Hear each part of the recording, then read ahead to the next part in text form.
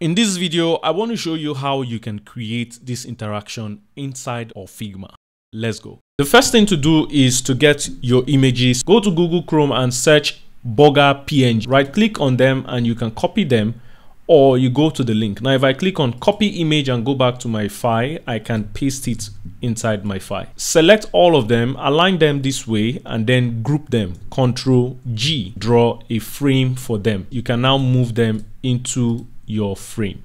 Now, because we're not using auto layout, we're going to need a grid. So I'll draw an arrow in and that is where I want the image to be. The next step is to animate this, uh, but you will need multiple screens to be able to animate this the way we want it to function. So first things, let's select all of it and drag it in a bit and then ensure that they are center aligned and then duplicate this screen once you duplicate this screen, then we're going to make some adjustments to the previous one. So we're going to move this out a bit, select this other one, and then with the scale tool, you can scale from one end, and then I'm going to bring back this other one. Let's do this. I'm going to select all of this, press enter, then hold shift and deselect this one. And then with this open, just change that back to zero and that's perfect. We'll need to adjust what we have done here on this one. If not, we're going to have a broken scale. Copy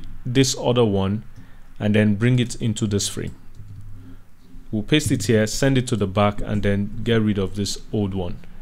Now we have the same, it's the same, all right? Let me delete this and do it again. So you're just duplicating this one and then you can just move it this way, zoom into it. Now we need this other one to be bigger and this one is going to be smaller. So we're going to do that. We'll select this copy this code right? Select this one and just scale it out a bit. It's about 784 so you know what? I'll just scale it up to 784 and this other one would take up the size of this smaller one which is 360 and there are some other adjustments there so let's scale that to 360. We're going to paste that code in there, 784.33, and that's perfect.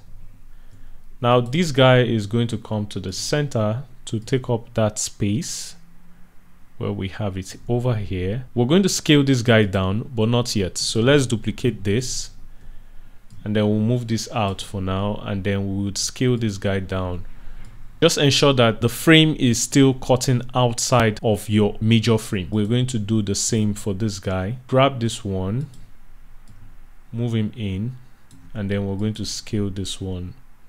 Everything selected.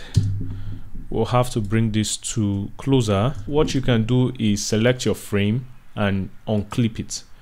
With that, you can now move this in whichever way you want to move it but i'm using the shift and the navigation key to move it in. All right that's it. Then lock the frame. Now it's time for us to prototype so go to the prototype tab click on it and then from this one you're not going to select the frame itself. You're going to select the images and then from the image you're going to see this shooting out. Just drag to the next one to the frame itself. And then we're going to be using on drag as an interaction and this is going to be not on ease out it's going to be on smart animate and then it's going to be on in and out. Now the in and out we're doing is to give it some kind of bouncy effect right? So from this one we're going to select it and move it to this other frame. The same thing just choose on drag it to fill up the rest.